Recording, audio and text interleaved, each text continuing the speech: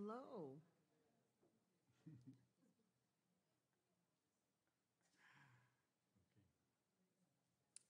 Okay. Steve, are you going to welcome us or am I? It's all up to you. It's all up to me. Well, welcome here on this rainy, foggy, windy day. And I do have to say there's something kind of wonderful for me about being in the atmospheric rivers or impacted by the atmospheric rivers. I love the sound of the rain on my roof. It's um, a comforting kind of lullaby, especially because there are no leaks. So, welcome to this warm space, to the Poetry Center. Um, this evening, and I won't give a long welcome, is happening because of incredible support from George and Judy Marcus for the Creative Writing Department at San Francisco State University. Um, it's a collaboration between me and the Poetry Center and the center. Some random person. Does it really matter in the scheme of things? You know, at this moment, I'm a sort of collection of molecules and cells and all those things talking to you. Um, but, and a collaboration with the Center for Iranian Diaspora Studies. Um, it's in support of an ongoing program, Woman, Life, Freedom, throughout the month of March. And Steve will come up later and tell, or Persis will come up and share with you the different events. There's something amazing happening on March 16th, music, and I'm not going to try to recount the events that are happening because I'm nervous. and maybe that's how I know I'm alive. But we're welcoming, um, I'd like to start by saying art, poetry, life doesn't happen in a vacuum. It doesn't happen without community.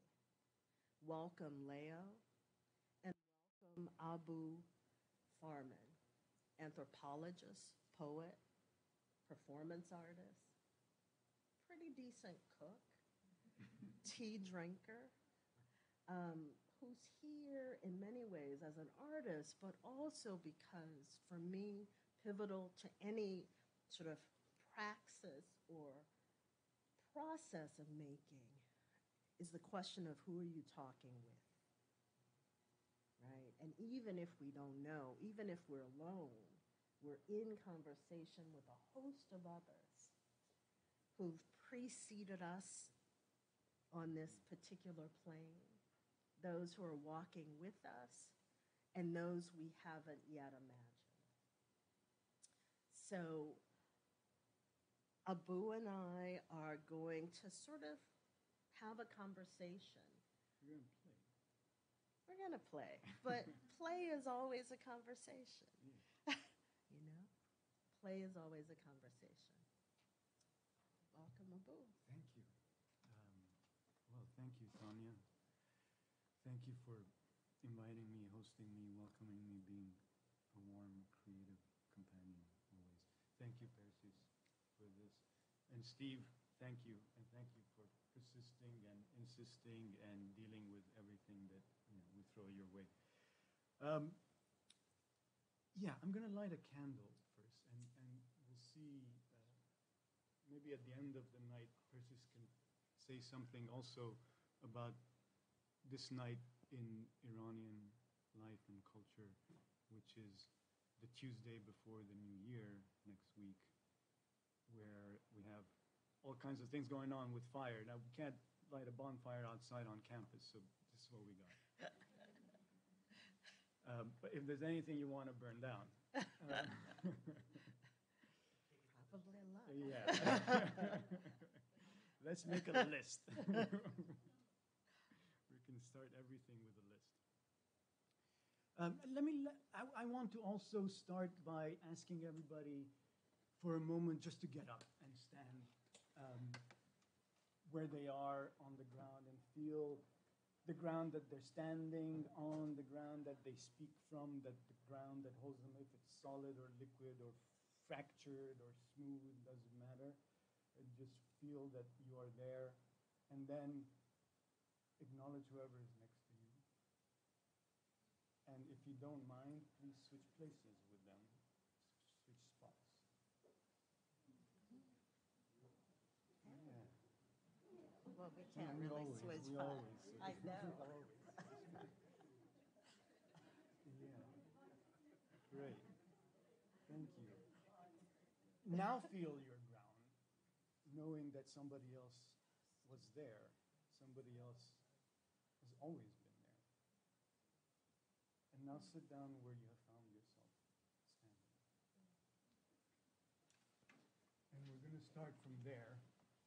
Feel the traces of the person who was there before you, because there's somebody always there before you on that chair. Feel it maybe it, on your legs, in your butt, on your back, in the air, in the particles around you, wherever that trace is left, in the light bouncing off. There are three or four mysterious forces without which none of us would be without which the universe would have not come together. Nothing. So they must be there. They must always have been there, the forces, without which none of us, nothing.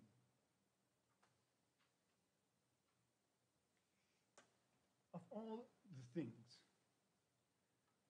the mastodons, the candles, the mascara, the memories, the vibrators, the medications, the cameras, the plants, the cedar wood, the eyes, the crazy eyes, the moon in them, the precision, the bunions, the fits, the strength of your grip, the smell of horses in your nostrils, the question mark in your ears, the labyrinth of silence in your day, the laughters to their bigness, the sad tone back of your heart, of all these things that made you up.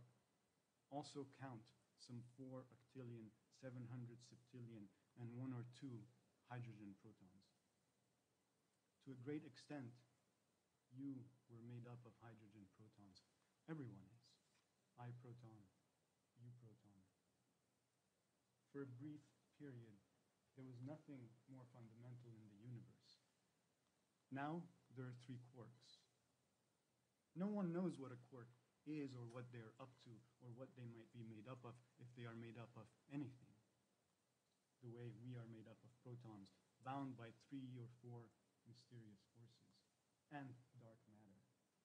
That 13.8 billion years ago came together to make three quarks into particle soup. Quark, quark, quark. The seabirds call. Then time slipped by. Nobody saw it coming. But 400,000 years later, protons got together with electrons to make the first atoms out of the force of attraction, out of love. And a promise they would not be separated even when forced, even at a distance, even as photons, even on a dead cat's whisper, whisker, even in Tibet, even when dust on a butterfly wing, even in storms, floods, fires, eruptions, in ashes, even, even in hate, at the end, ever, even, never. Then gases, and it's a blur. Supernovas, gamma ray bursts, electromagnetic waves, planets, fire, earth, mountains, water, cells, sugar, DNA, bacteria, whales, fish, tree, flowers, petrodactyls, turtles, snakes, DMT, mosquitoes, yellow bees, red cardinals, lions, baboons, Neanderthals, tumors, you and me, and nuclear bombs, and nuclear magnetic resonance imaging machines. And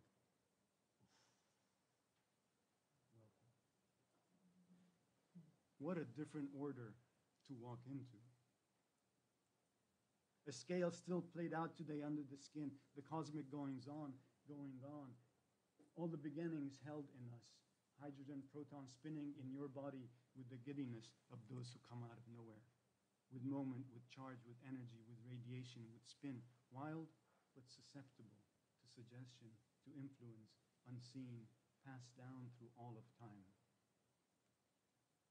This vastness you feel acutely when you are given two years to live, two years to die, two, two, two, two, two, two, two, two, two, two, two, two, two, two, counted in years, then counted in months, then in days, two hours, two minutes, two, where time that's left and time that's passed are part of the same body of time.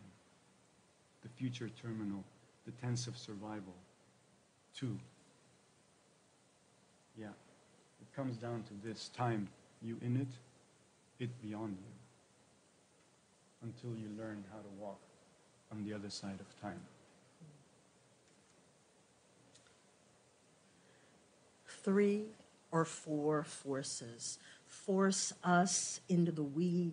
We had never anticipated, wanted the things because we thought they would make of us a something, something that you imagine will give you substance, but the body is not a thing, nothing. The body is an approximation of soul. The body is the soul, or how the soul knows you, knows the particularities of itself. I am shaking for many reasons, too soon to say. What will being come to?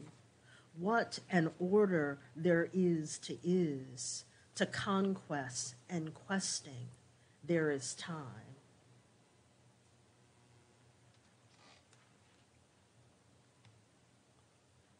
The magnetic field, 10,000 times stronger than the Earth's, reveals the tumor inside your breast. Magnetic Earth, magnetic field, magnetic body, magnetic machine lines up your protons, an order necessary for imaging, for the wild has no image, hence wild. This is your body we're talking about. This is our body all magnetic, nuclear, oscillating, transmitting radio frequencies like there was no tomorrow. This is us, ourselves behaving this way. This you and this me. This is us and the universe and our forces and charges and fields, our ability to absorb each other and emit signals. This is us below biology. This is you and this is me, amplifying the recognition this is you and this is me. You flip my state, turn my moment. This is you and this is me. You ping me, I ping you. Radio me, radio you. Bump me, bump you. Jolt me, jolt you. Spin me, spin you. You miss me, miss you. Yes, you. Miss me, yes, me. Yes, you. Yes, me. Yes, yes, yes, yes, yes, yes, yes, you. This much is science.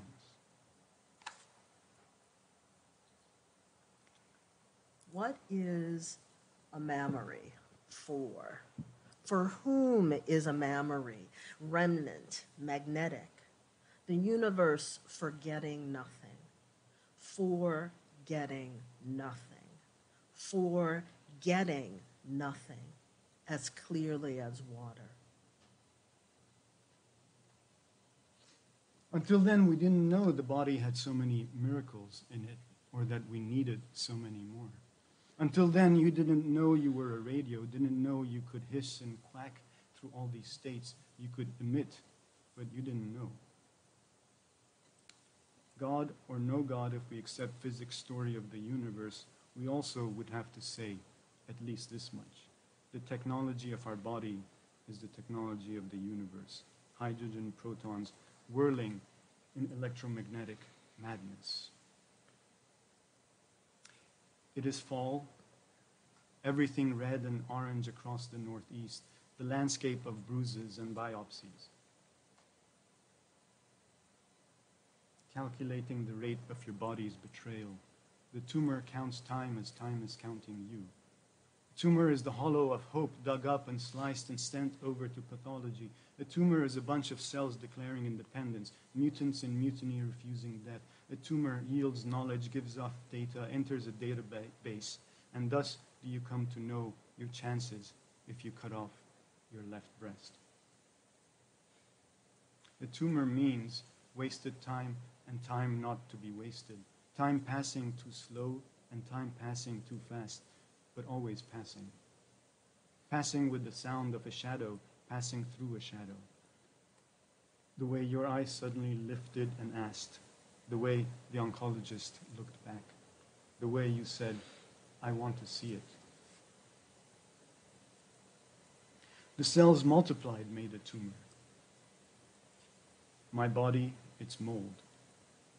A mold is one thing shaped around another, one matter poured around another, sealed, understanding the parts, figuring the split lines, two bodies wrapped around each other, testing their geometries, seeing how they fit snug, airtight, breathless, one the inverse of the other, the heart and its hollow, the blow and its trauma, love and need, the character and its actor, the parent and the child, the shoe in the snow, the shoe out of the snow, the now out of its prior. A mold is the shape of the understanding of a shape, a place to hold something tight, a place from which it must be removed, to become again the thing, one more of itself, and also a something else, one more. A tumor means a world is a mold, wraps itself around things, leaf around leaf, glass around glass, cancer around tumor, absence around presence.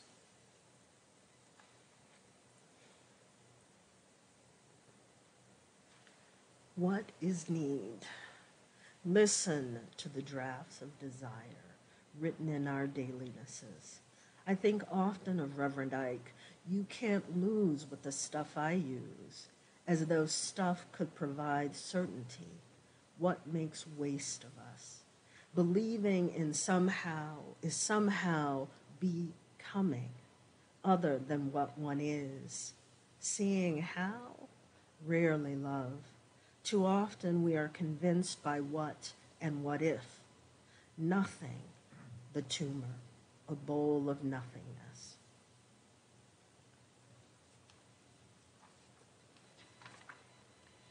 Appearance makes particles unstable, and when they become unstable, they decay. When they decay, we decay.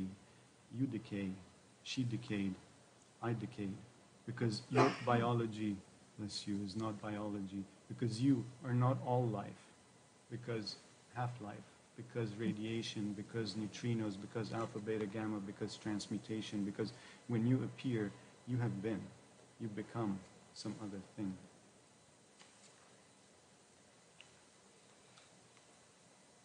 Time is unstable. How close to decade is decay? Be Because an effect will follow.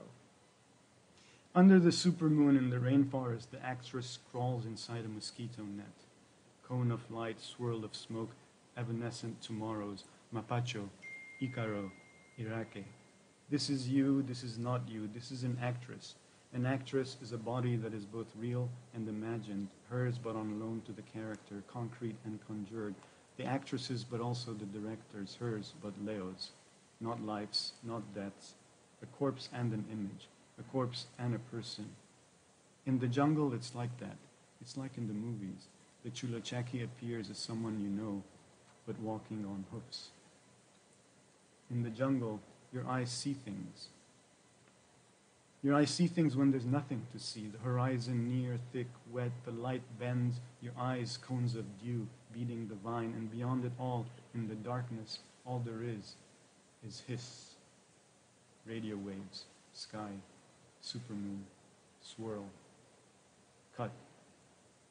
On every, surf, on every surface, life declares itself, you said.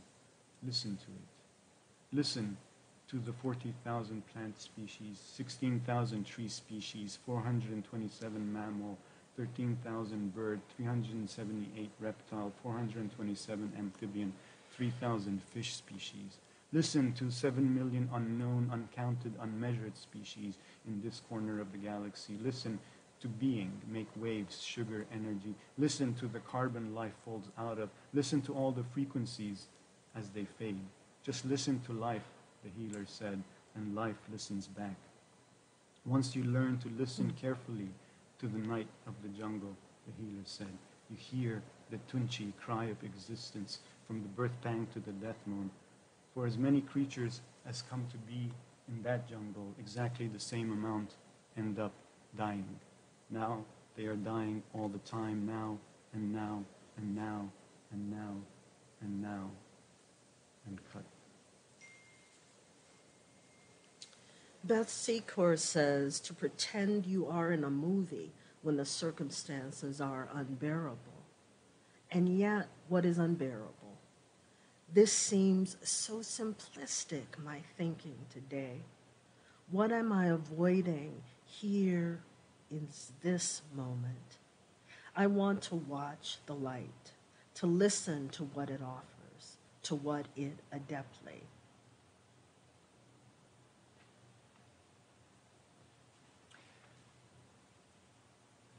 Let us start by not dying. Everything is in that not.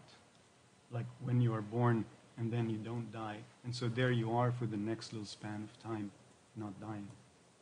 Some must fight to not die, to not be killed, to not be driven into the sea, to not go extinct, to survive. To survive, take another breath, get to the next moment. Sometimes you get to the next moment whether or not the next moment is what you want to get to. Maybe it's not about what you want anyway, because what your body wants is warmth and sugar and light, but you, you want love and creativity and glory. And regardless, you just keep on not dying from moment to moment until before you know it, you reach that moment when you have to. It's hard to kick some habits, give up some fights. In the middle of not dying in Laughlin, Nevada, I get the call. The hospital tells me you went and they decided to keep you overnight, maybe longer, maybe forever. Laughlin is a casino time, town named after a billionaire who wants to not die. Well, doesn't everybody? He asks. Don't you? Everyone asked me that question at the conference on transhumanism held in this desert, in this town of neon hallucinations, whiteness staking more claims on the future, technological, eternal, scientists, science buffs, pseudoscience, puffs, Mormons, skins irradiated with a post-nuclear glow, sun lamps, freon, lavender-scented Lysol, overly oxygenated air, noble gases, deep-fried styrofoam, wingless chicken, pigless bacon, hoofless cows, petroleum pump, silicon, lead, blood, Google, denial, Lockheed Martin, rot dripping from America's liver, life broken up, death cancelled by the ka-ching, ka-ching of coins dropping down the tin throat of machines. And what does the seal of sand smell of in Laughlin today? How far is the ocean? What is the smell of bones? On the way home, the railroad tracks and the shield of US 95 road sign extermination into infrastructure. Paving over burials, fracking over the dead, building tumors for the living. How do I travel this drying road before me after you and get to call it life?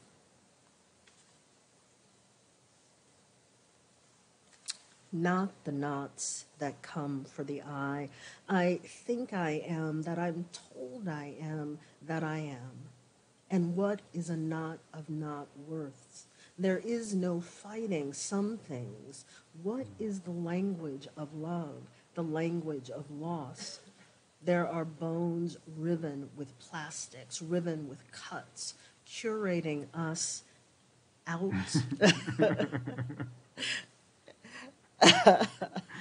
Is that an edit? Cross it out. no. oh, that's where you are. that's where I am. Curating us out of the day, the road paven.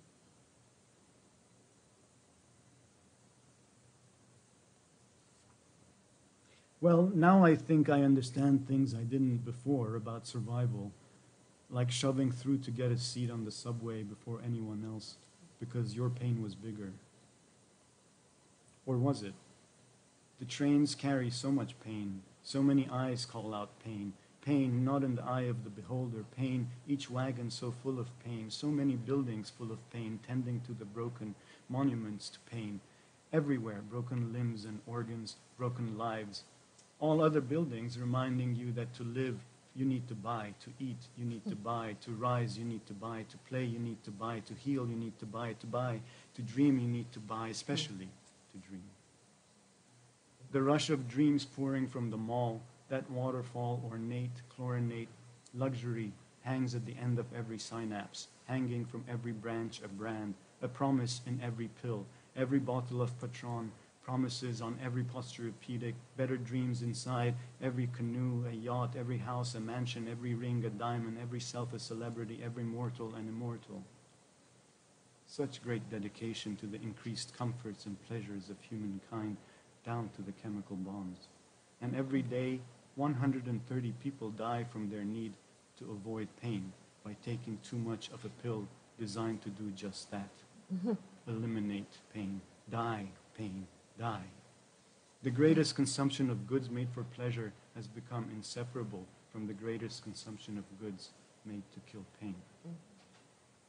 Imagine all that is out there of fentanyls and F 15s, ketamines and Kalashnikovs, Zoloft and Z9 Blackhawk, the sheer quantity of pain killing and plain killing, ensnared. Ensnared is what it feels like to live inside the pharmakon. This is what it feels like to live.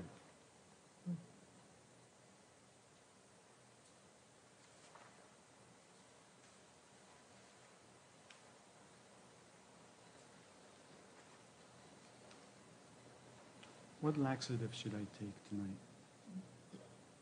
Do you want some apples? I boiled apples earlier. You can eat soft apples. When we go for a little stro- stroll outside to get fresh air, you say, maybe oxygen makes me nauseous. Maybe oxygen, maybe life.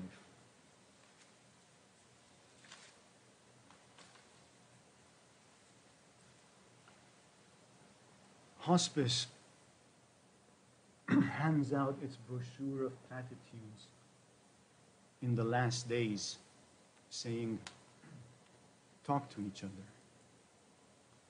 make peace, put things in order, apologize, celebrate, listen, touch, say, I love you, I forgive you, I will be okay, you will be okay.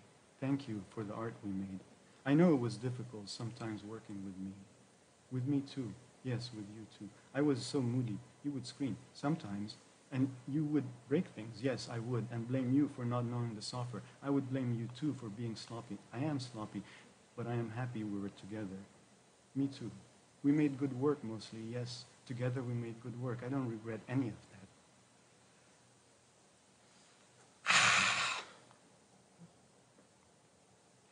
No, we couldn't leave each other. Sometimes you hated me. Sometimes you wanted to kill me. You wanted to leave. Sometimes I did. You too. But there was something always stopped it. My cancer. That too. But love. Yes, something we didn't always get it. Maybe in the future we would have broken up. Maybe now. We don't have. We don't have to. Uh, maybe now we don't have to. Please don't cry. Don't cry now. If you cry, I will lose it. I won't. I will make sure I'll take care of you after I die. I'll take care of you after you die too. Make sure Amir sees the film. And Michael too. I will. I have a list. It would be nice to have a healing center. Yes, I know you had such a good idea, all the different modalities. I have good ideas sometimes. I will do that somehow. A home for healing. But it can never be enough. The problems overspills the bounds, all, all you can possibly say. Because the real problem is not what you haven't said, but all what, what you can't say ever again after that. And maybe all what you can.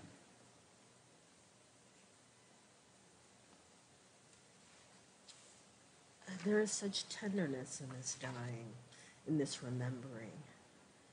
If you're lucky in this life, what doesn't kill you kills you anyway. What doesn't kill you maims you. What doesn't kill you kills me. What does your leaving leave behind? Rampant wanting. The dead want just as much as the not yet dead. And what is saying saying?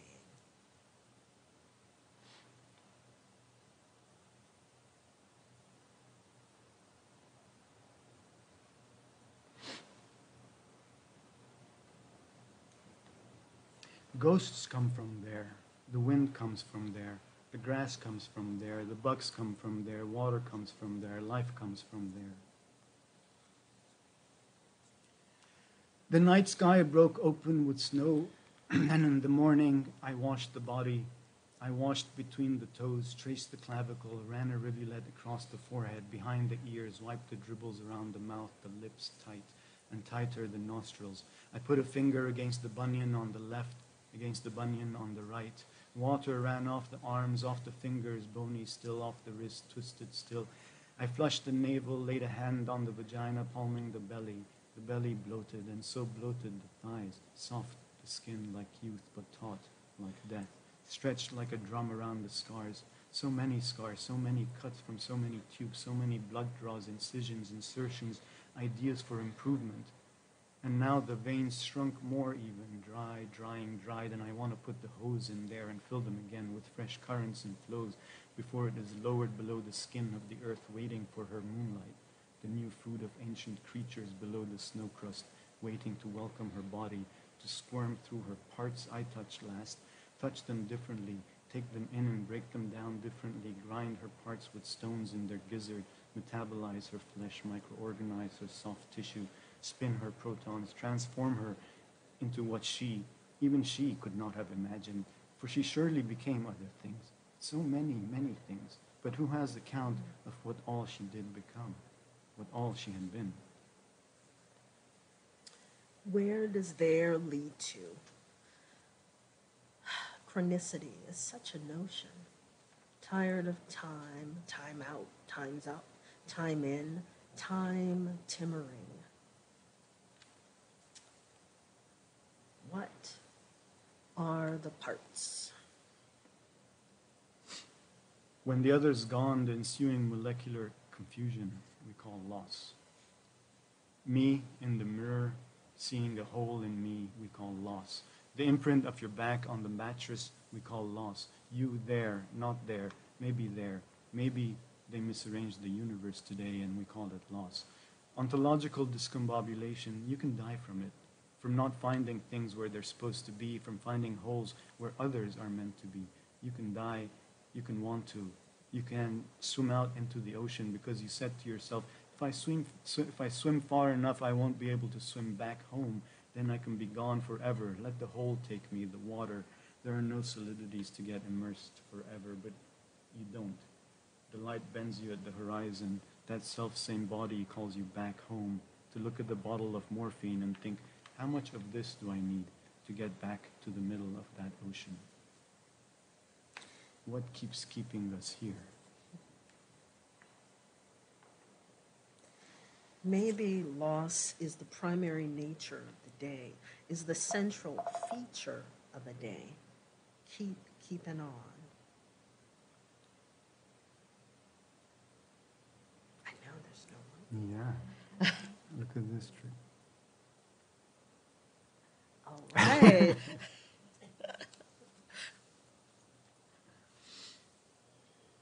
I look around for the voice, small, smoky, squeaking out of a matchbox, and wonder if dreams are the only realm where we come to meet, you and I, on equal footing. When you go see a spirit medium, people ask you if you believe. And I wonder what you have to believe in order to go see a therapist, and why people don't ask you that.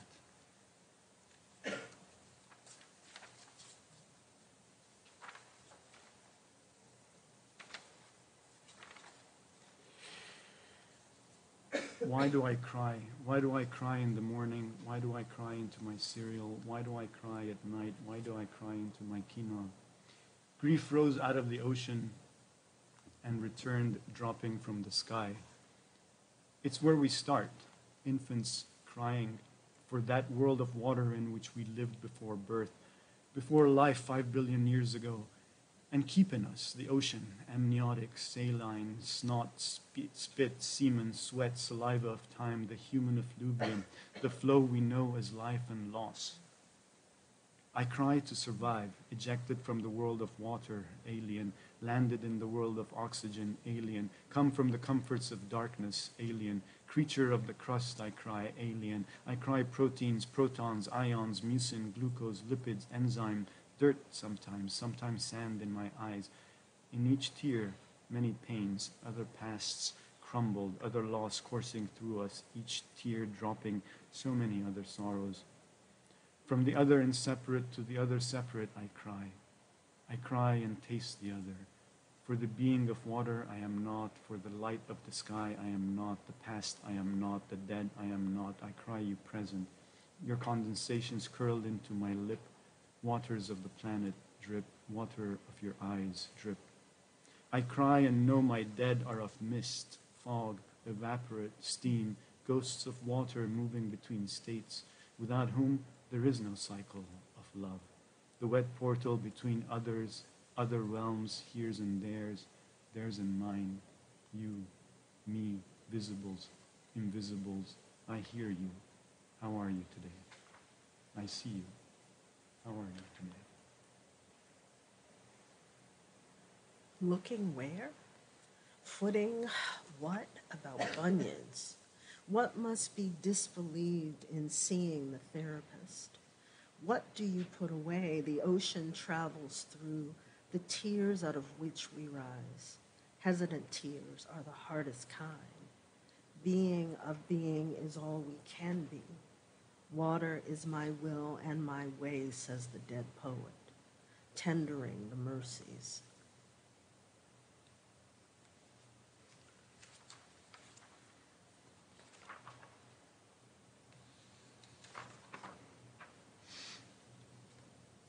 Do not fear the soft orange glow of human being. Soft. Closure would require that I kill you for good, or myself. Orange. Mourning is how I keep you alive in me still, and keep me alive too. Glow.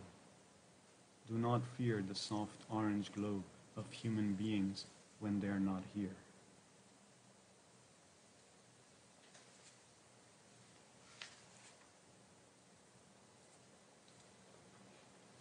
One of the first things colonial rulers, church leaders, and post colonial secular states did was eliminate local ways of doing death. The cry holds the power of water from which life, from which tears, from which love. With it, we scrub the surface, walk and dance, and harness heat, water, light, and ultraviolet frequencies to remain to appear to each other, to love. It is what keeps keeping us here.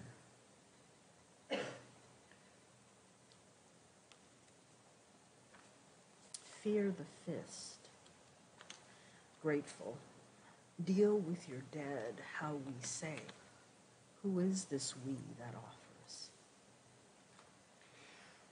Lament comes to me in other ways too, the tones of Shia suffering, draped black cloth for they killed Hussein in Karbala. The pain relearned my pain now, Siavash before that, before Hussein, before me, year after year, but now especially, for grief is a time loop. Pain relived and reenacted on the streets now, chains slapping the back now, the chest now, razors across the forehead, the beating of the breast till blood, till the dripping from the liver, from the foot, from the sword, the gash, till tears, till pearls in the ocean, till the daughter of the prophet, till the mother of our master, till her name in every raindrop, till her infinite embrace, till her face of sun, till martyr, till death, for the other, for you, for all, for this, till I am drained of me, my blood at the end, till nothing and nothing more. Till then, yes, I howl, how I howl, I moan, how I moan.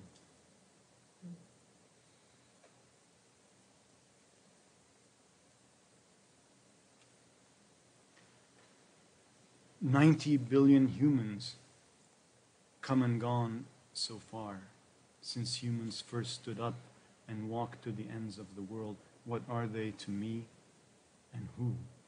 At what remove does my indifference start? What are you to me? Remember the mothers of the plaza refusing the remains of their disappeared? The wound, they said, will not close until everyone, not just mine or me, until everyone, not just us and ours, until everyone, meaning until justice for this wound is not only my wound, and so did the dead echo. Every time someone said their names, they'd shout back, presente. Who hears the dead? Whose dead do you hear calling back? A sign on the community garden across from Greenwood Cemetery reads, not a minute of silence for our dead, but a lifetime of struggle. So many lifetimes of struggle on the red soil of nations, citizens of a wound gaping at a world that does not want to look, screaming in a world that does not want to hear, marching in a world that does not want to be disturbed, where you need a million people and a banner to claim the basics Black Lives Matter. Until then, until everyone, until black, we live in the white gash across the world's chest, the oceans, the skies, no ship, water, or spacefaring can cross until then mourn to reclaim from this world the arrangement of its absences, in the wreckage to find power, to reappear. Connect the many dots. Grief writ daily, hourly, moment by moment. Yet you are here. Who are you to me? Are we often deciding rather than feeling. I want to listen, to listen, to linger in what you are saying. We often talk of testimony, testifying to counter the regular testifying.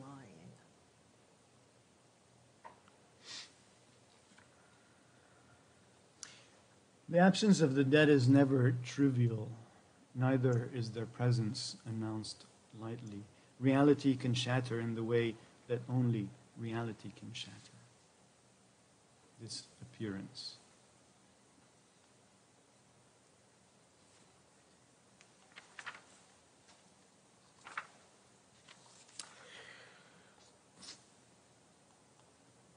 Amongst the various things that she did become. I know Leo also became a cockroach. Or her hydrogen protons did. The proof is too complicated right now. But if we have time, I can show it to you later. But I knew the moment I looked up cockroach slipped out from behind the Shipibo ceramic of you and danced slowly up to the bed where I was propped up on those pillows, your fortress of pillows, and it tried to climb up the metal nightstand, and I thought, it is so shiny, the nightstand. Can it climb up? But they that are of flesh, mind, the spirit, and I thought, wait, let no man deceive himself but really, are you coming to me? Are you climbing this metal leg to me? Onanias in the Amazon taught us that if any creature appears on your path or in your head, you must not be afraid. You must immediately ask, Who are you? And they will either tell you or they will slink away. I have asked this of a dog, a snake, an infected rat, an armed wanderer. I have asked this of trees and shadows on the street. I have asked this of my students. I ask this of myself. I ask this of the cockroach, and she shimmies up to me and dances with her antenna on the other side of time. Is this you? Is this me?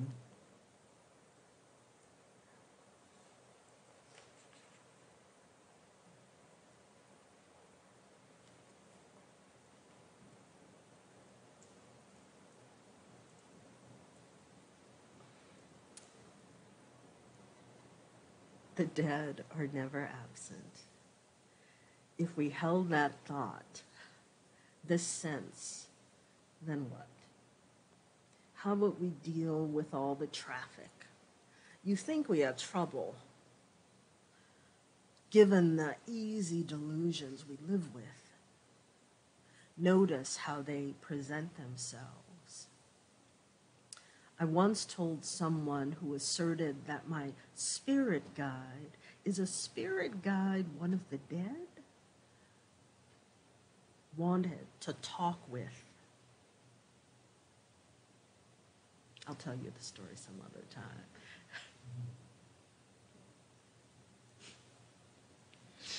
Where meaning ends, acts of reappearance occur repeatedly An event as ordinary as speciation, as birth, a grandfather putting in an appearance in the newborn. Shards of the universe cutting through the mother skin, another sun rising on another fucking day, another damn night descending, another you, another me, another time there was a cockroach. Out of all the nothing, anything is excess, us finding form, needing to first, then needing to drop it.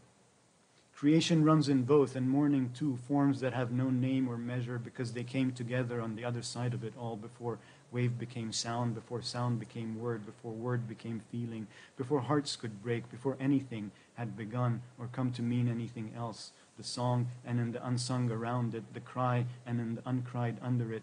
Better, at any rate, to not call this song. It is not for singing. Don't call this song. It's the infrawave of being. Don't call this song. It's the creature plants, the teacher plants, the mother plants, the warrior plants, the worker plants rising up. Don't call it song. It's the rising up. This unraveling, uprising into our hollow, each being emanating its own electromagnetic genius, wave upon wave, resonating with yellow, with berry, with chirisinango, with toe, with chuchuwasi, with anaconda, ant, crabapple, spider web upon web, spinning the unspun thinness of air, all gathered here, buzzing like gods, like cockroaches in the chambers of transmutation, the ecstasies of translation, returning the extravagance of the sun, pulsing with eight minute old frequencies, hitting now the photosensitive soul. Every image, a ghost given up. Every ghost, an image given off. You, your body, rose and released out of the Amazon where you said life grows on every surface.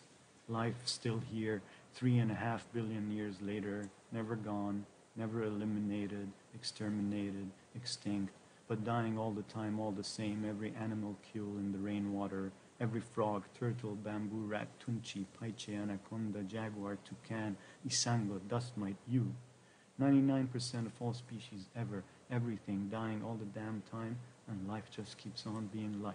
Cellular, circadian, lit, but returning to darkness, to return from.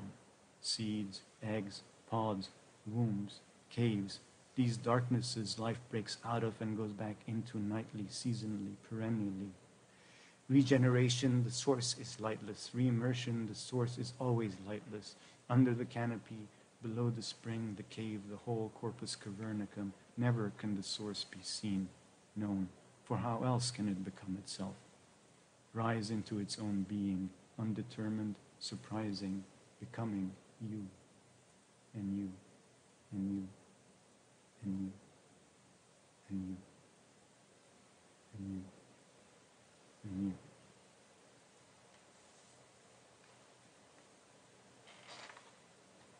The French have left their way of saying, marked that spot on the map, Belle Alliance, beautiful joining, beautiful friendship, branch and bramble bound up, verdant greenery, summer swelter in which we swim, in which we simmer.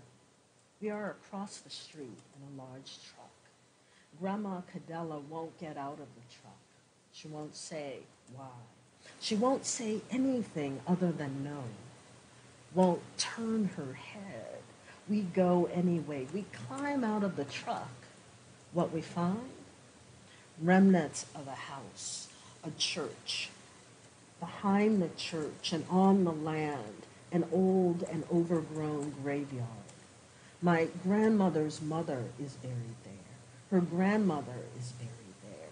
Her father is buried there. Grief, grief grown rooted and wild, grief everywhere like dirt, grief stem, grief piston, grief root, grief leaf, grief tendril, grief blossoms, her sitting spoke to grief, her refusal to be moved. Her unmoving swept through us. There was confusion. Stem, root, piston, tendrils of grief unmoved.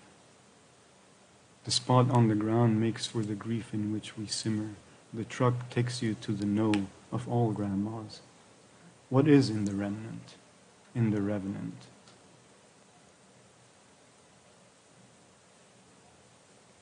Parentheticalities. This is an essay, by the way, so we're kind of switching modes a little bit, a lot. Parentheticalities, or how I came to be. When I moved to New York,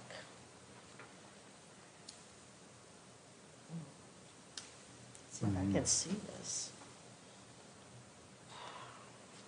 Hmm. Let's do this one. When I moved to New York, to the New York tri state area, after years of living in the flat and minimally sidewalk land of Houston, Texas, an idea of love trounced momentarily MFA pursuits. It was the mid 90s before iPods and the absorbing ubiquity of smartphones when Sony Walkmans were the technological rage, and I had already been writing and reading with writing in mind for years in those early, still unemployed stranger days, as we, that socio-temporal collectivity each eye is forced to inhabit and navigate, mastered the art and technologies of being alone together.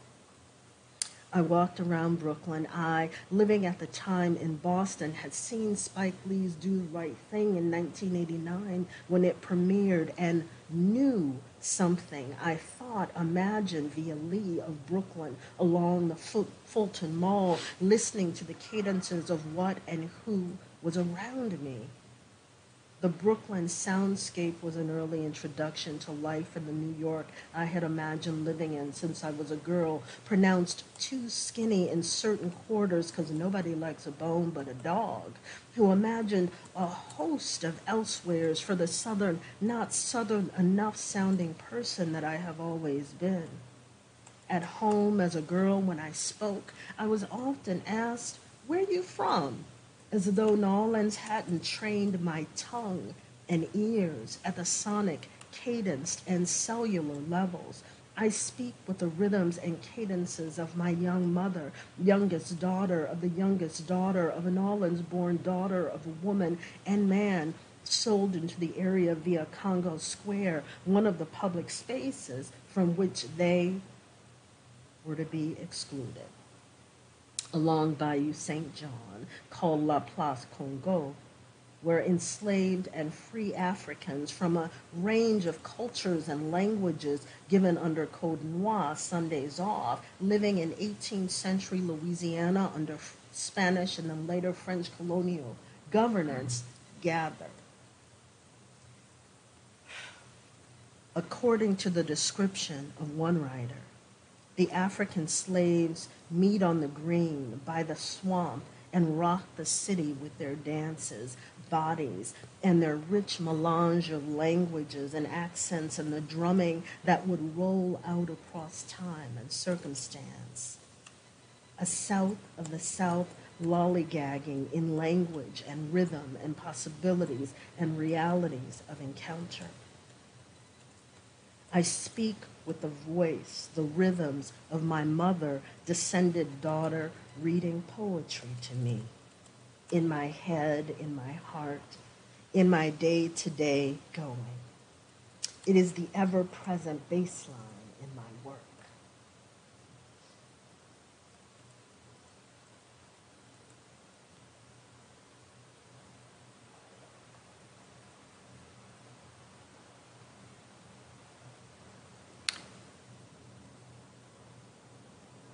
Make of the sorrow a dirge, soundscape is territory. Of the bone rattles, make of the sorrow a tango.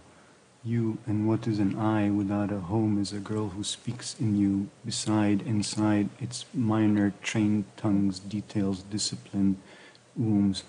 Every source has its own source, rolling out across circumstance, lollygagging in the rhythm of my mother, in the day to day going. During the Brooklyn fall, when I needed and need was a sheltering and constant during that and perhaps during each time of arrival. And yes, a poem is a moment of arrival, of becoming, when I needed to walk and to feel as though I had a place. I was couch surfing to which I might claim belonging or potential belonging or temporary belonging. I listened to two cassettes on switch and repeat. Anita Baker's 1986 album Rapture and Sarah Vaughan's at Mr. Kelly's recorded live in 1957 Chicago. It was fall 1994, eight years after Rapture was produced, 39 years after at Mr. Kelly's, when I drove a two axle U Haul truck into lower Manhattan to a storage facility and then on to Brooklyn. I had played Oleta Adams' rendition of New York State of Mind loudly over the truck's radio as I drove into New York. It was a song I queued up for the symbolic announcement of arrival, transition, and a feeling.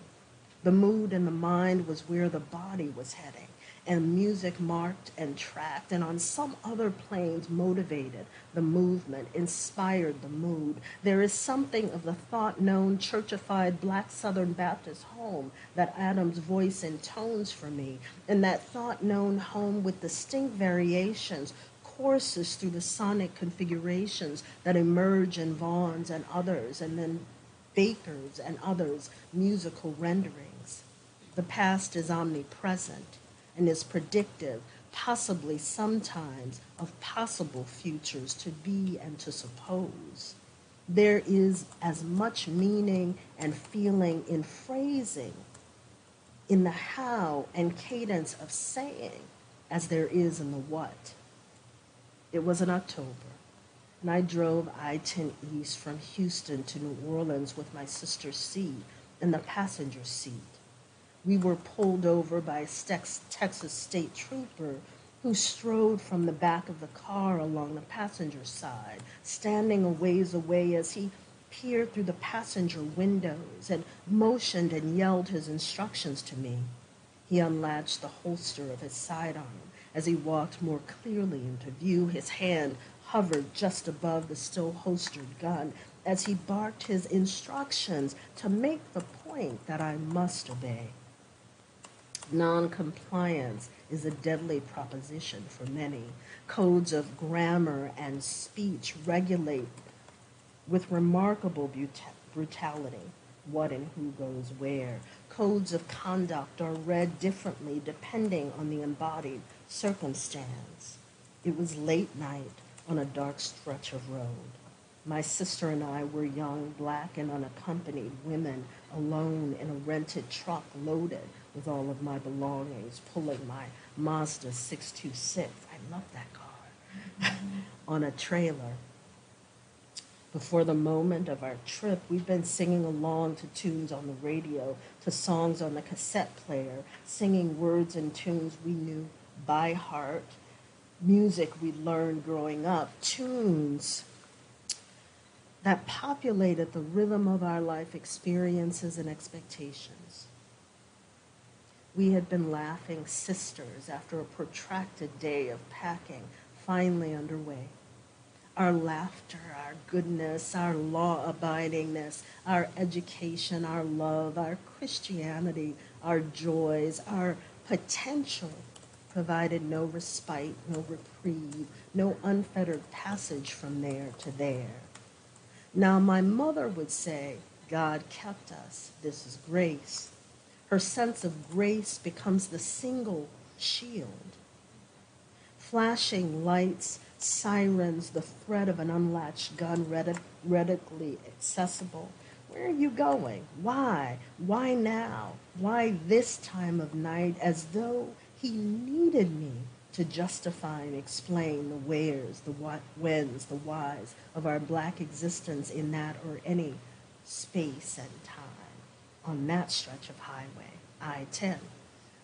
He had motioned for me to get out of the truck, demanded that I climb down and go around the front of the truck to the passenger side, where he stood with his hovering hand and gun, and then walk back with him to his waiting patrol car. My sister, as I looked at her through the windshield and the passenger window, looked worried, mouthed, What? What does he want? I don't know what he wanted. I only know what he did because he could. Desire is often the well heeled daughter of impossibility. He asked to see, though the problem is a matter of the construction of their, which their inner eyes, those eyes with which they, not all that theys are identifiably white, look through their physical eyes upon reality. My license, my car's registration, and the rental agreement for the U-Haul. What would this tell, see, or sense him? Of course, I knew even then that our blacknesses, our black skin, our black personhoods, our, were clocked by this official as criminal in fact or always in potential, as always already suspect and suspicious, as not women in the meta narratives of gendered figures to be protected, as black women in the meta narratives of gendered and raced figures to be constantly policed, pulled over, questioned. He wanted the story that would explain me in some acceptable way. The acceptable is often the mirror behind which the unacceptable stands in waiting. In tears, I'm against public crying, which most of you who know me know. In tears, I'm against public crying. I question the trooper's legitimacy as he rifled through my papers and ran them through whatever system he had access to. Why are you doing this? I asked. I asked how I was supposed to know that he was who he claimed he was. I told him that he could be anyone. I explained that I didn't know who he was and that I had never seen a Texas state trooper uniform before. Told him that a few years before, I had been abducted and assaulted by some other uh, white man waving a badge and a gun and claiming official capacities to detain and question me. Didn't, would never tell him that I was also well aware of the other recurring histories, of the other narratives that made those like him, official and otherwise, some whom I knew, some whom I didn't know, a danger, especially to those like me, whom I may or may not know or know of. I hadn't been made aware of how stereotypes, I had been made aware of how stereotypes might be used against me as threat and by me as defense. On that strip of road, I cried, though I don't believe in public displays, used as they so often are as proof of what we, which we are not as they are often used to disqualify varying us's from a host of rights. Who legislates the rights, the wrongs? When our, who is this our rights, our presences, our going about our lives, our annoying inconveniences to the meta narratives which animate and regulate of what's going on at any given time? I began to hyperventilate as I recalled to for him the other threat and attack that I had survived. Trauma drama feeds the beast like music calms. Calmly and coldly, the supposed trooper asked where and when this assault had happened to me. He wanted, again, desire, details, as though the details of geography and chronology and of crime and of the crime were more significant evidence than the uncalled for terror of his traffic stop in that moment. I had to remember, call up my A vulnerability, tears and trembling flash the wounds in order not to be perceived and shot.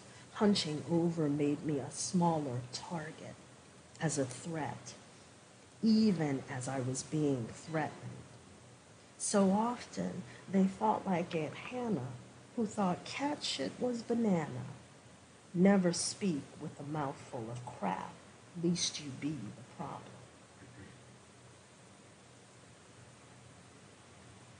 All the things that are supposed to save you. Make a list. The lists will save us. On that strip of road, she cried, What attacks, what beast, what assault goes on at any given time? What is in the holster of the state? Who fits in the holster of the state? What goes in the holster of the state? And a monopoly on legitimacy, that is what is in the holster. The holster holds history, the holster holds rights. Make him not stand, make him kneel, please, and lick solemnly the white dividers down the highway. Make that happen.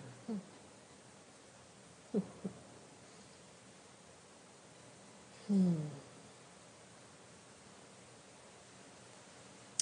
After this encounter, my and my sister's moods changed.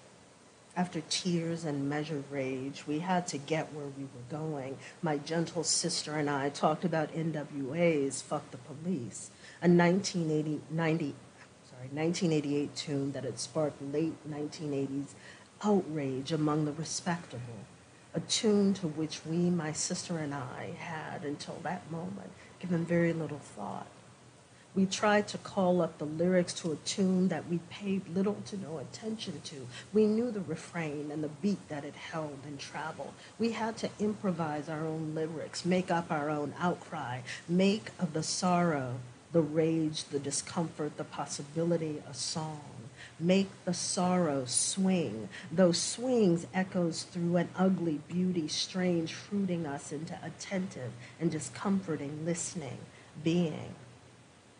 After New Orleans, I drove I 285 to Atlanta and I 95 from Atlanta to Washington, D.C., and finally on to New York with light, bright, damn near white A, a friend of my lighter than a paper bag cousin T, as my passenger. There were no other official officiating stops along the way, except to pay the toll as we entered Manhattan. In 1994, Baker's Rapture was the cassette tape I had owned the longest. I had allowed myself to splurge on it during a relatively impoverished and extravagant student year in Germany. A year during which I studied the German language and American literature weirdly. In one class, a writing by American women um, I was introduced to something. And I'm just going to skip to the end, actually. Can't the rest of this. Three decades separate Sarah Vaughan's. Excuse me. Three decades separate Vaughan's at Mr. Kelly's and Baker's Rapture albums. Yet something in the performances, specifically Baker's runs, and according to the New York Times, bold improvisations, swooping, gliding phrases, and Sarah Vaughan's remarkable scat singing left with me a sense of that homeness in a strange place. I could be anyone, I thought. At any time, I could be many ones. I could be alive, vibrating always on the edge of legibility to myself and to those I love. No worlds or two worlds of indifference, possibility and invention, singing of what was behind me and of what might have been behind me, and of what might yet be, and of what is and isn't. Something in the affective registers of their voices, the registers of the music, notes bent and held or reaching toward and after, a standing in and an escape to and from felt familiar and grounded and lifted me as I walked, as I explored, as I encountered, as I was, or as I might yet become. My work as a writer comes from so much.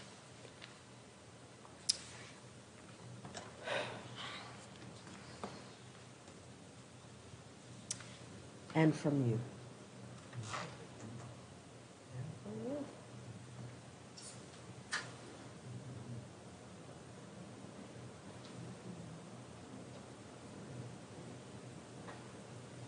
Pen.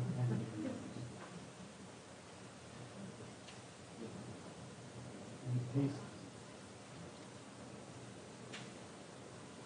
And smell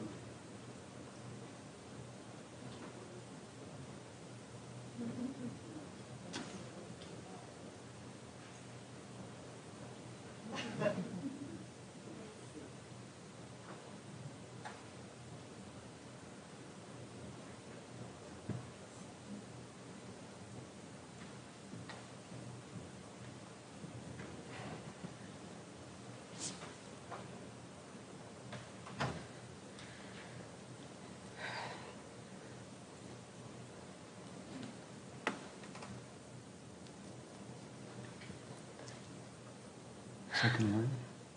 Second line. So, I am word on the street as I'm from New Orleans. or at least that's the word I put on the street, whatever street there is. But, um, so one of the things about funerals, like, and I've said this to people, if I die, I want a second line. I want a serious second line. Part of what, you know, like the whole dirge to the funeral. I want all the weeping. Y'all can tear your clothes, whatever you got to do. but on the way back from the grave is this joy, right? That is a celebration, kind of. There's the, the sort of dark part of me that thinks it's the, wow, that ain't me. and there's the, oh, yes, you know, another moment of life. So we want to invite you to write. Um, in response to that, and what we'd like you to write is your second line poem. You'll have seven minutes to write the dirge and the yeah, you're going to write the second line poem, the whole part of it.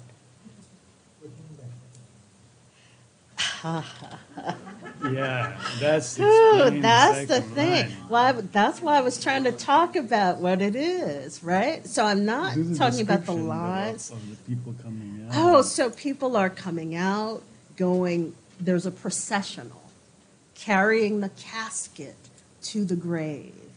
And there's a line of people.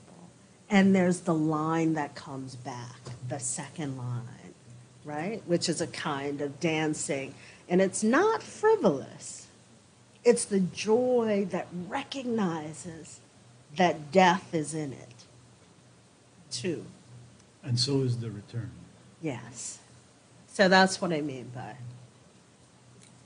Okay, you'll have seven hmm. minutes. I will set the timer. And please go ahead and write.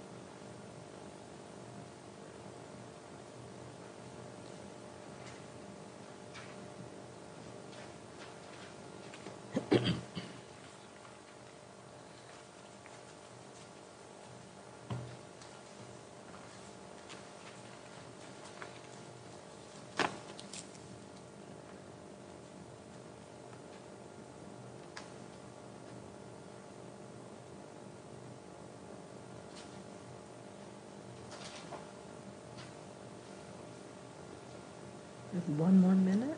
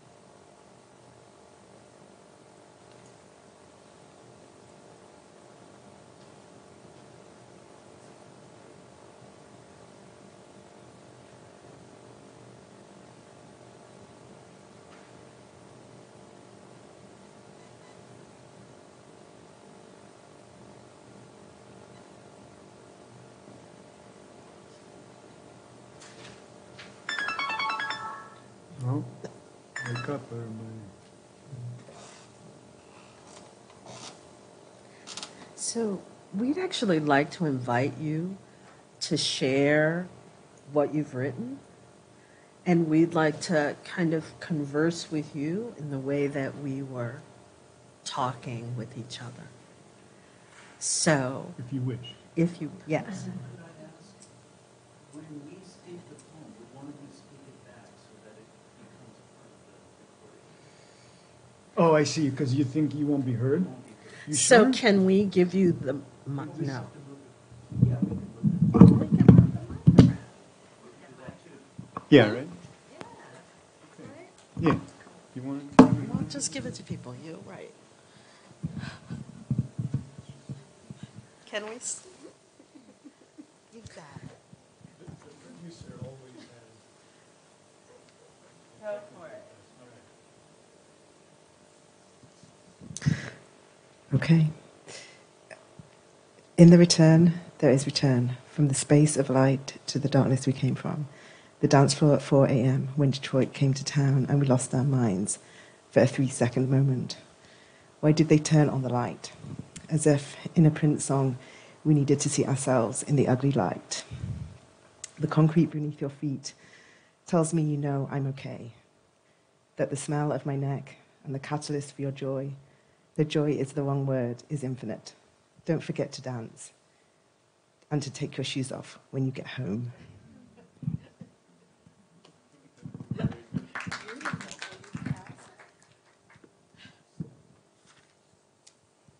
Thank you.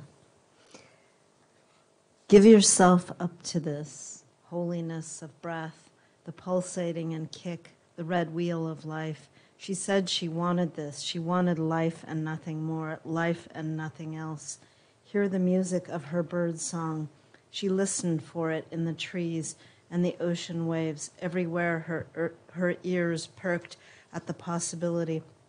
Her father's declaration life was an echo in every day. Don't worry about forgetting. Forgetting is the body's way of going on. And this going, this what's going on, is the refrain of everything. Circling, circling, fire and earth, water and time. The water is a wheel, and so is time.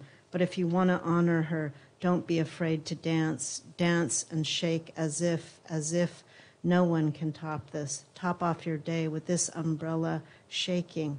Life, generation. I tell my son when I'm gone, you'll remember me saying, Life, hear it, and tell it to your child too. That's all I need in this. All I need, all I ever needed was the song, the song, the song.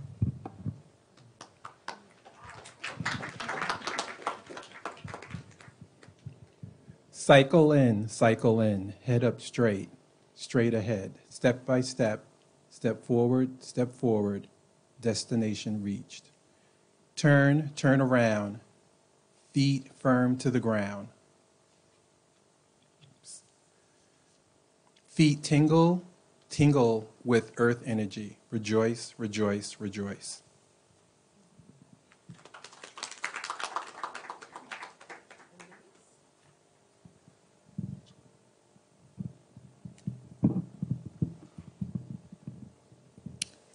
My weight carried through the streets grows lighter the closer we get, even as the steps are slow and the dirge arcing skyward with heavy notes makes a bridge of stone, an earthly bridge.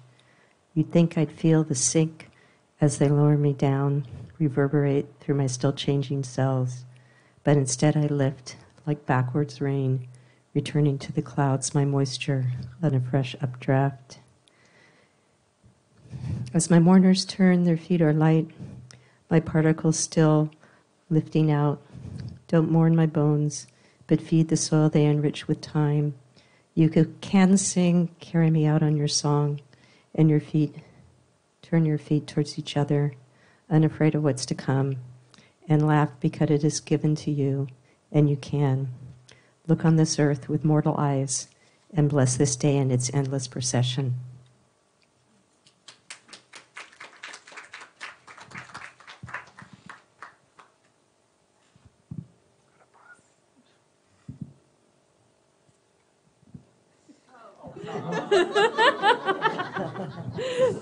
my my poem's like really silly, and so I don't know if I want to read it. In front of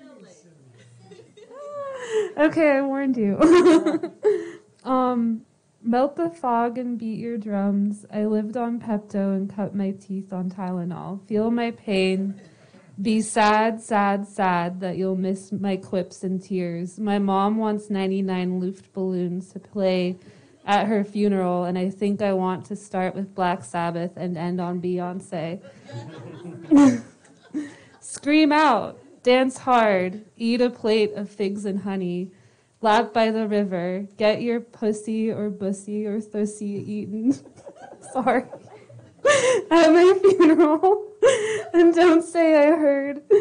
Don't say I never did anything for you or a lap up the sun and joke with a friend, cry blood oranges and vomit gay glitter.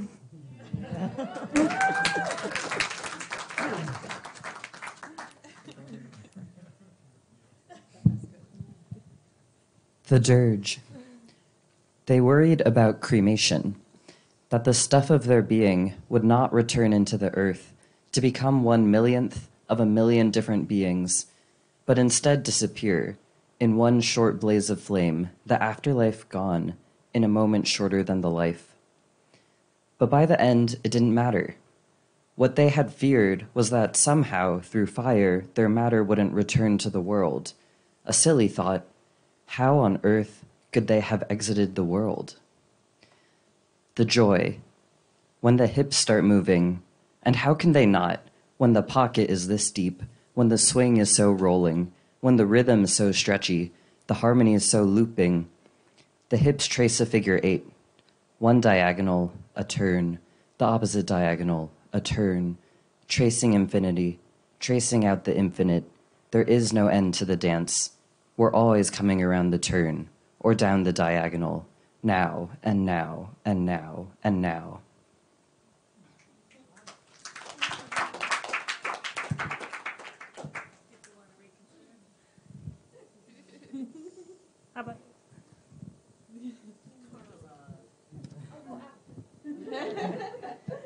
Um, she, that me, let that ground carry flowers, hellebores, heliotrope, wisteria, springs, hysteria, and heartbreak.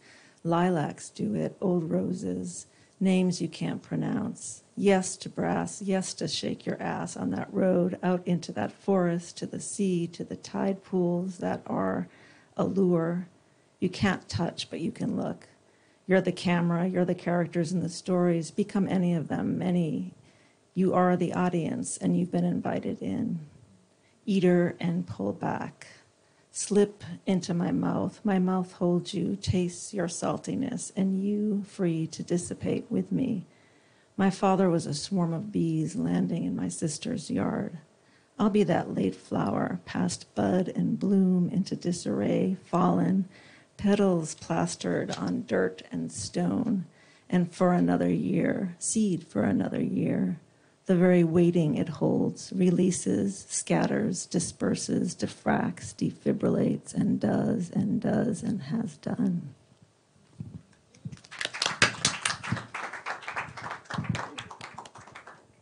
Hmm. What is this breaking of expansiveness? The rich moment lasting, but working towards a far reaching dullness. I would call it fury, but I would also call it response, the construction, the final draft.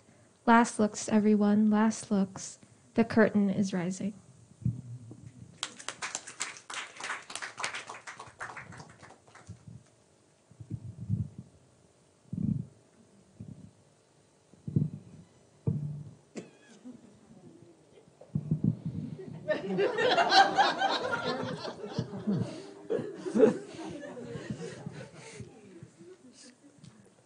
Uh, mine's a bit more prosy, but anyway. I can't control the return, but when I leave, I love to leave alone, and those who wish to leave together can. But I wish for those who would like to leave alone, quiet, just empty. And for those who would like to leave joyous, raise a glass and say, Thankfully he's gone. Let's get going and watch a movie for him.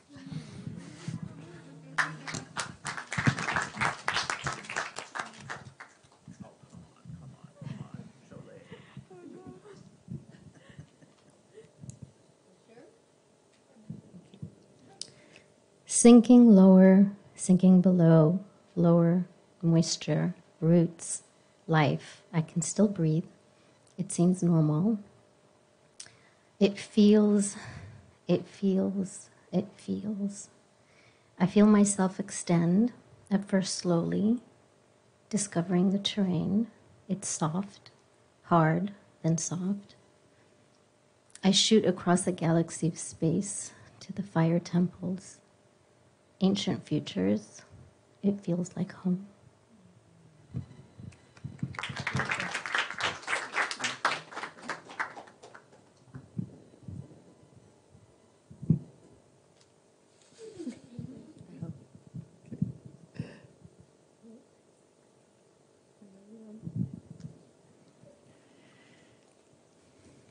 Eucalyptus rained, stained the ground, the floor of you, door of you mooring us at this harbor, all of us, like trawlers and whalers named Quandary or Savage or Maui's Sun. Remember the lost sailor on a pedestal, now backed by that translucent, rain washed blue, whose fish fed the hungry and the satisfied, fishermen and women lost to the tides. I tried to hold him. I tried to hold him. The water so cold, his red cheeks reeking of the morning's alcohol, the boats rocking, just barely, in rows anchored. In her docks, clouds unclouding the sky. Our hands, too, were cold, like his shredded ones. I tried to hold him, he said again, and then there you were, like a crabber in the icy Alaskan sea, as savage and tender, as savage and tender as I remembered you.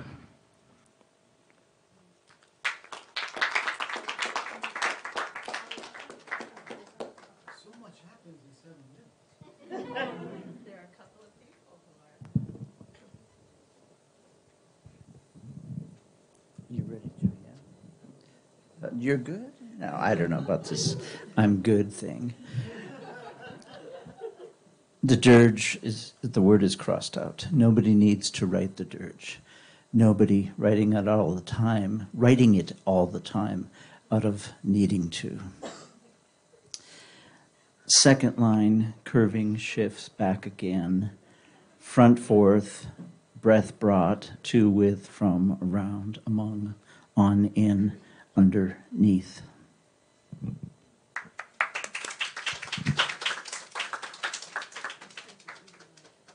Second line. Here lies old Laura. We called her that for the ripe old age she lived to in good health. Known for her poetry and being nice to children, she was often to be found in the park contemplating the cherry blossoms falling. Her own fall from life was like a cherry blossoms. One day she was limberly doing yoga and going swimming. The next day she didn't wake up but was found like a petal, head on her pillow, having long since been interviewed for her longevity tips.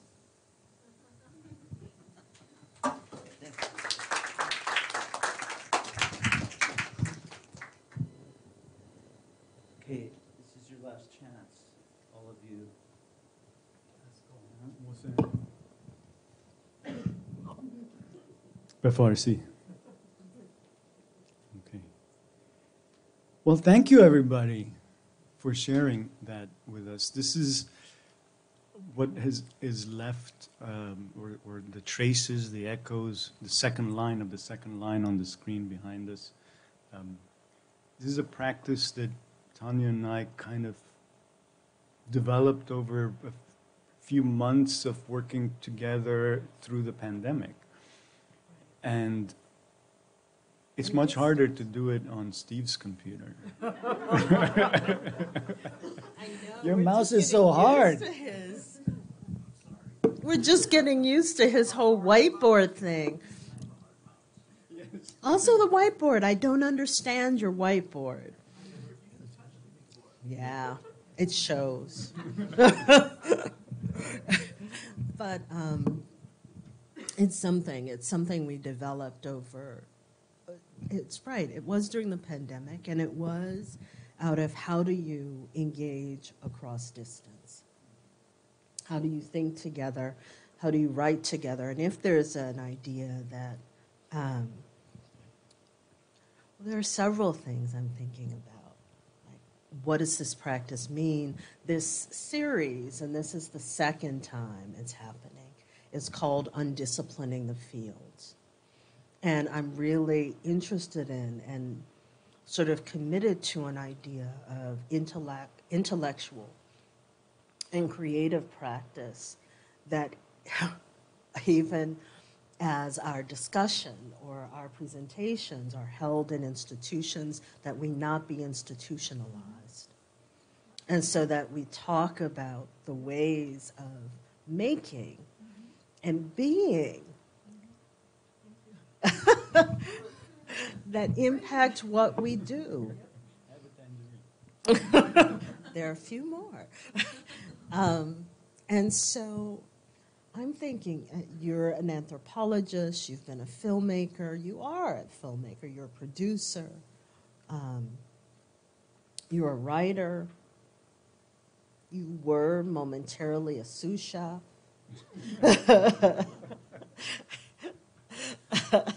I think that should be in every part of your your bio. But um, what is undisciplining for you? What does it mean for you as a yeah? You knew that part was coming. You made me read stuff, so you're gonna have to answer questions.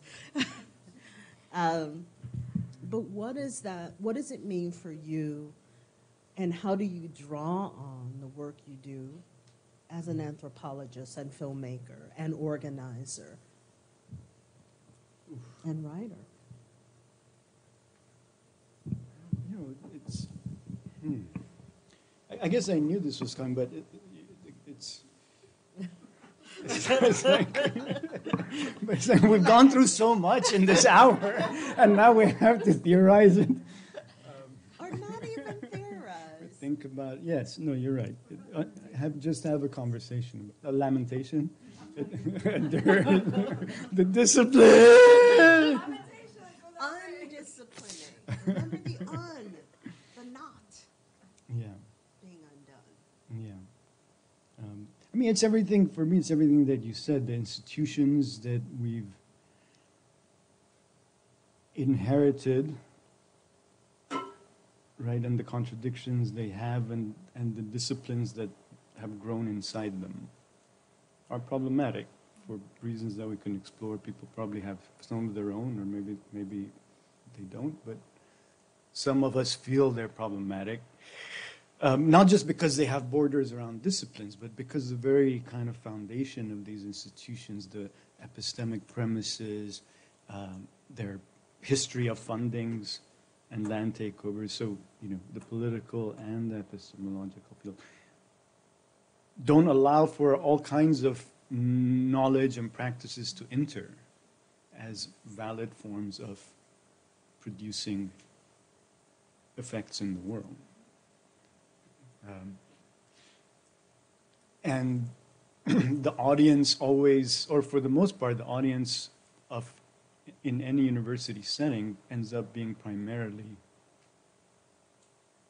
or often ends up being the university. In other words, the university requires your reputation to grow in order for the university to grow its reputation. And your reputation grows by, you know, having these wonderful people in the room, but you know, all these ways by having citations. Different disciplines have different ways of growing the reputation. And it, maybe in itself it's not a bad thing, but it does become part of the extractive um, direction, part of the extra- extractive ways in which universities work, which is not about.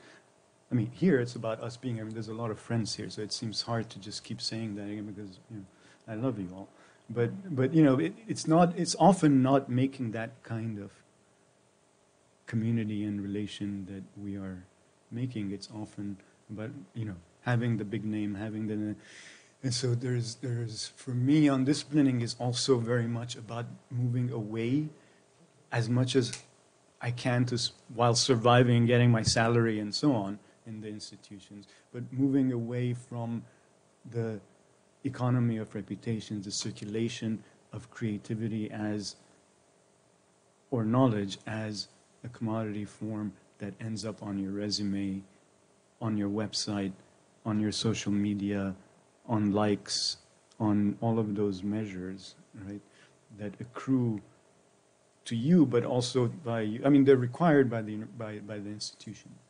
So for me, undisciplining is, yes, doing all of this free play, doing, of course, rigor is, is so rigor is another part of discipline, which I like.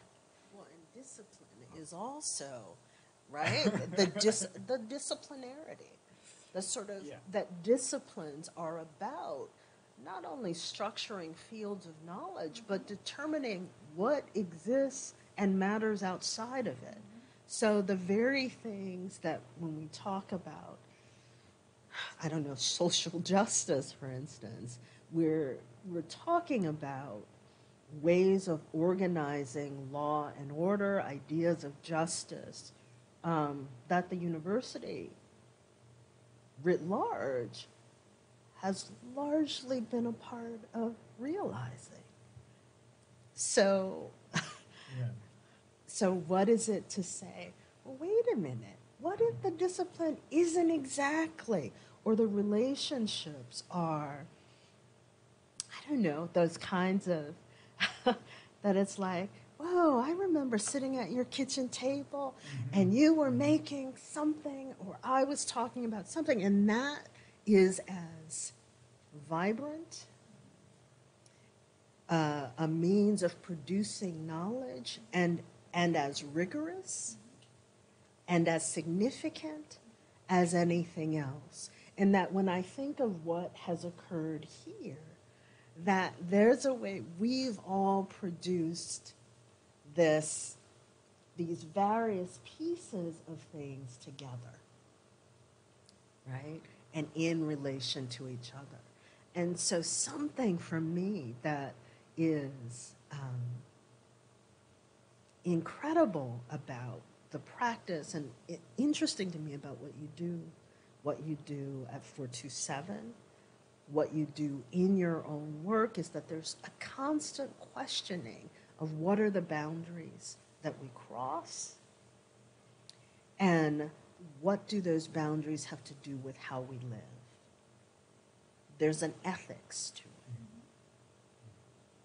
Yeah, I, mean, I try to not lose sight of that. I mean, it's also, you know, something I think, wow, where else would you go and derive a salary out of thinking and writing?